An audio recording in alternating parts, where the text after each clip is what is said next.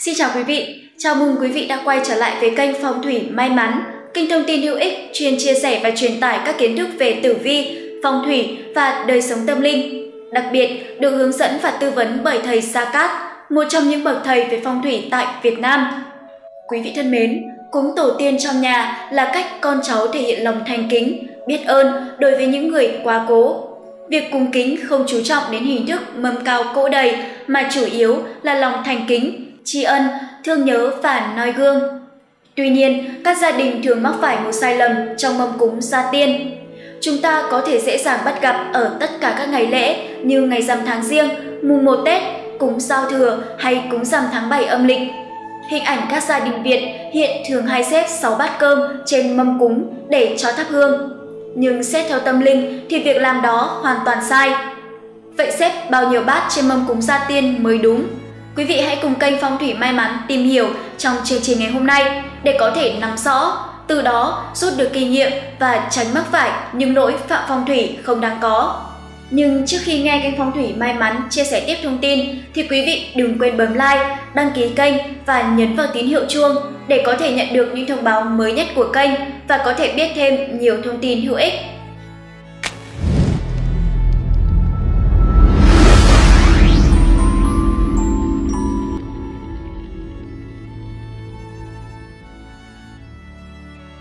Theo quan niệm dân gian, tháng 7 âm lịch là tháng các vong linh được thả khỏi cổng địa ngục để quay về trần gian.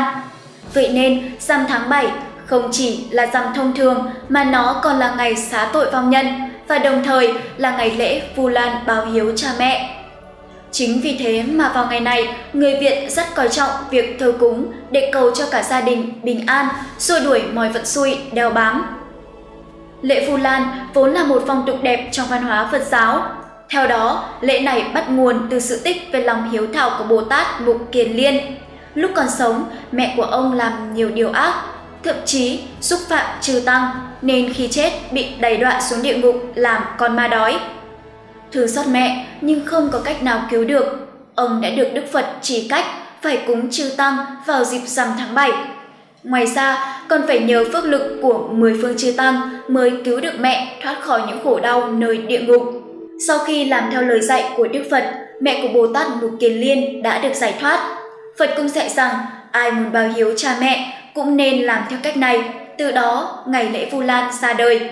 Vu Lan đã trở thành ngày lễ hàng năm để tưởng nhớ công ơn cha mẹ và tổ tiên nói chung, nhắc nhở mỗi người biết trân trọng những gì mình đang có, nhắc nhở bổn phận làm con phải luôn nhớ đến công ơn sinh dưỡng của cha mẹ mà làm những việc hiếu nghĩa để thể hiện tình cảm, lòng biết ơn.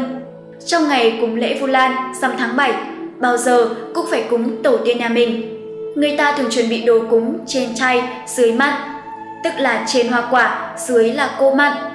Các món được chuẩn bị tùy theo điều kiện của mỗi gia đình hoặc nấu các món ăn khi xưa ông bà tổ tiên của mình thích. Nếu người nào là trưởng tộc thì chỉ cúng sôi và thủ lợn, đuôi lợn và chín bát xếp chồng lên nhau, chín đôi đũa. Nếu không có lợn thì cúng gà, nếu là con trưởng trong nhà thì cúng một mâm cơm. Tùy tâm, có ít cúng ít, có nhiều cũng nhiều, nhưng không thể thiếu là 7 cái bát chồng lên nhau.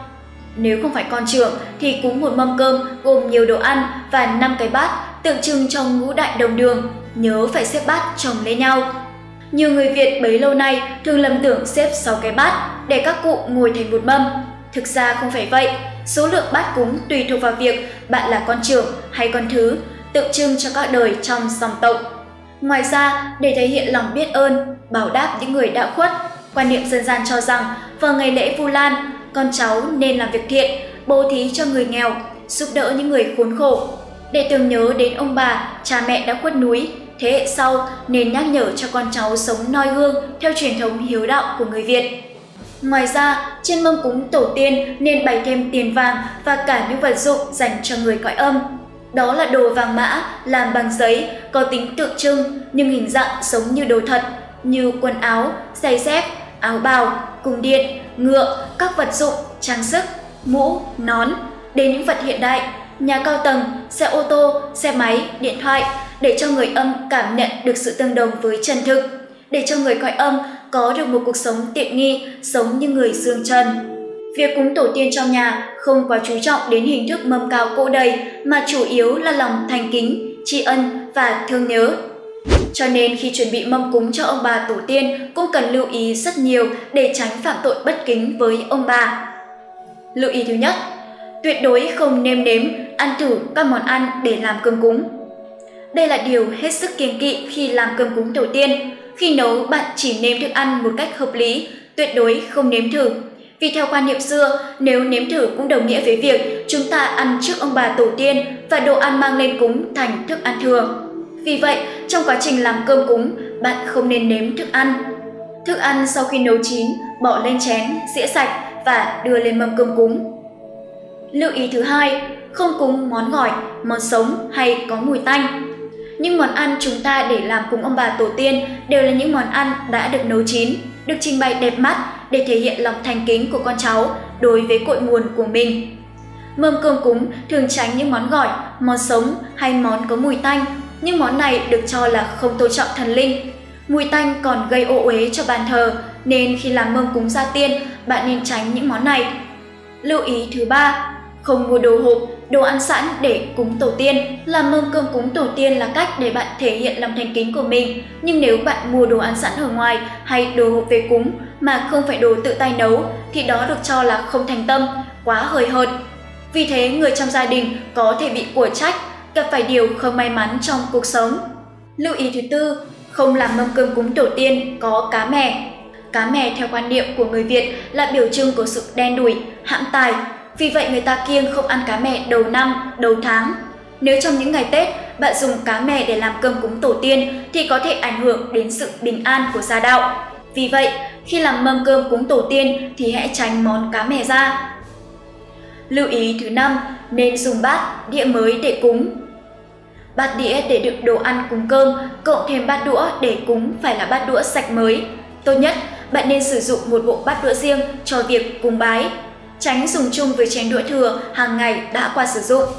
Quý vị thân mến, ngoài chú ý về việc bày trí mâm cúng thì các bạn cũng cần lưu ý đến cách đốt vàng mã sao cho đúng để ông bà và tổ tiên thấy được lòng thành tâm của mình. Khi đốt vàng mã cúng rằm tháng 7, gia chủ cũng nên lưu ý phải đốt thật từ tốn, chậm rãi, vừa đốt vừa kêu tên của người đã khuất.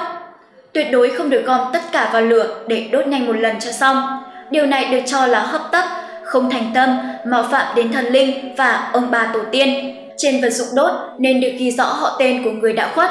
Lưu ý không được dùng từ chết mà thay vào đó là từ đại nạn vào năm nào. Lúc đốt, bạn cũng không nên dùng cây nhấn vào tiền đang đốt. Điều này sẽ làm cho phần tro bị nát hết. Đặc biệt, gia chủ cũng tránh việc dùng nước dội thẳng vào lửa khi lửa chưa tan hết. Nhưng hành động này có thể mang đến những điểm không may. Thần linh, ông bà tổ tiên không thể chứng giám phù hộ. Vậy lễ phù Lan và cúng gia tiên nên làm ngày nào? Theo quan niệm tâm linh, từ ngày mùng 2 đến ngày 14 tháng 7 âm lịch là những ngày mở cửa địa ngục, ân xá cho những vong linh. Vào những ngày này, các linh hồn và ma quỷ sẽ được tự do trở về dương thế, vất vưởng khắp mọi nơi trên dương gian. Ngày rằm tháng 7, ngoài là ngày cúng cô hồn, còn là ngày lễ Vu Lan, là thời điểm mà các vong hồn được thả tự do. Do đó, nếu thực hiện lễ cúng Phật, thần linh, ông bà tổ tiên vào đúng ngày này sẽ không tốt. Những linh hồn lang thang, vất vưởng có thể sẽ đến quậy phá, khiến cho tổ tiên, ông bà tổ tiên không nhận được những lễ vật cúng tế. Vì vậy, tốt nhất gia chủ nên tiến hành lễ cúng trước ngày rằm tháng 7 một vài ngày, thậm chí là một tuần để tránh những tai họa không mong muốn. Gia chủ nên thực hiện việc đốt vàng mã đúng giờ, nên cúng trước 11 giờ 30 phút trưa của ngày rằm tháng 7 Tốt nhất nên lựa chọn giờ cúng phù hợp với tuổi của gia chủ. Trong cuộc sống hiện đại ngày nay, có thể các gia đình đều bận rộn và không thể nào thực hiện được đúng giờ.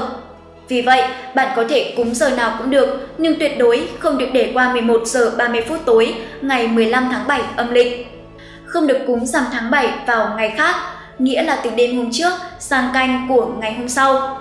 Việc đốt vàng mã nên được thực hiện ở một góc sân hoặc một nơi nào đó thật sạch sẽ, khi gần hết một tuần hương, gia chủ mới nên thực hiện hóa tiền vàng. Thủ tục đốt vàng mã cũng nên được thực hiện theo thứ tự, cụ thể là thần linh trước và ông bà tổ tiên sau. Trước khi hạ lễ đều phải khấn và vái ba vái. Còn xin hóa tiền vàng, kim ngân, cầu mong vong linh gia tiên nhận chút lễ bạc, tâm thành. Quý vị thân mến, trên đây chính là những thông tin giải đáp cho thắc mắc lễ cúng tổ tiên vào rằm tháng 7 gồm những gì và một số điều lưu ý mà gia chủ cần phải quan tâm. Hy vọng sau chương trình ngày hôm nay, bạn có thể thực hiện được nghi lễ cúng gia tiên ngày rằm tháng 7 một cách đầy đủ và trang nghiêm nhất. Rất cảm ơn quý vị đã quan tâm và theo dõi chương trình. Quý vị đừng quên like, đăng ký và nhấn vào tín hiệu chuông để nhận những thông báo mới nhất của kênh và không bỏ lỡ bất kỳ video nào. Xin chào và hẹn gặp lại quý vị trong chương trình tiếp theo.